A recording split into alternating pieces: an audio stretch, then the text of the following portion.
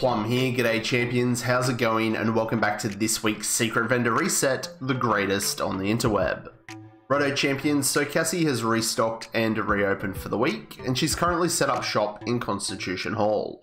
But depending when you unlock her through the week, her location may be different.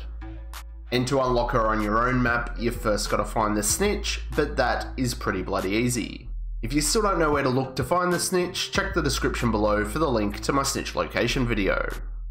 Righto champions, I've had a sneaky little peek and there's definitely a few items worth a mention this week.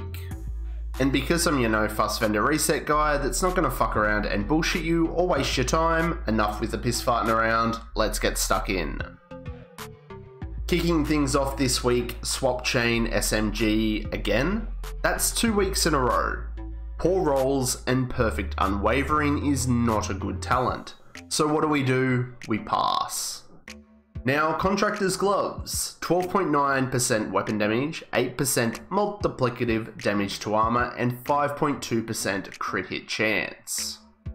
While we would prefer crit hit damage, this is still very usable, and I recommend any new or returning players grab this and roll armor to it until you can farm for a better one. Same as always, killing all your hunters will give you both the shield splinterer and the hunter killer chest piece each and every week. Check them out, if they're upgrades for you, do the smart thing, buy them and upgrade. This week's hunter killer chest, I'm grabbing. Max armor roll and close to max hazard protection.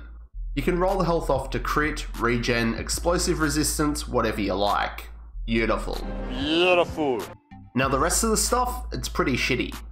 We do have an okayish Sokolov chest. It's got 11.9% weapon damage, explosive resistance, and 10.6% crit hit damage with the talent Spotter. If you want to try something different, Spotter on an SMG build is pretty lit.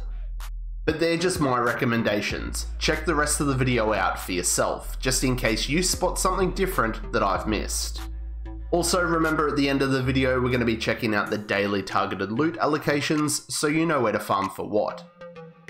And that's it for me on this one champs. Drop a comment below about whatever. Any feedback, build questions, suggestions or ideas, you know I'm easy. Help yourself and the channel, make sure that you've hit that bell notification so you know every time I upload new content. So, did you like it? Then smash that like button, and if you didn't, you can press the dislike. But remember, to support me and the channel, hit that sub button and become a creepy subscriber. And I'll catch you all in the next one, champions. I'm Plum, Plum out.